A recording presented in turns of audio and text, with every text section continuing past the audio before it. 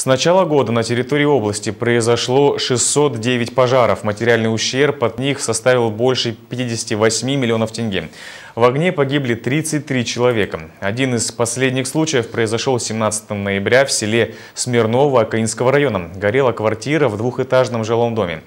Огнем повредила мебель и личные вещи. На месте пожара спасатели нашли тело хозяина квартиры безработного 52-летнего мужчины. Общая площадь пожара составила 12 квадратных метров. Причиной возгорания стало неосторожное обращение с огнем при курении.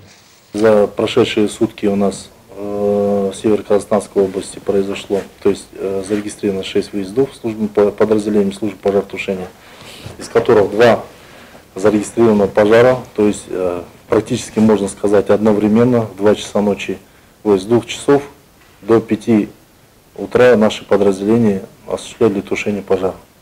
То есть первый пожар у нас был зарегистрирован 2 часа 28 минут в селе Харатомар Акаинского района. Через 40 минут был зарегистрирован второй пожар села Смирнова.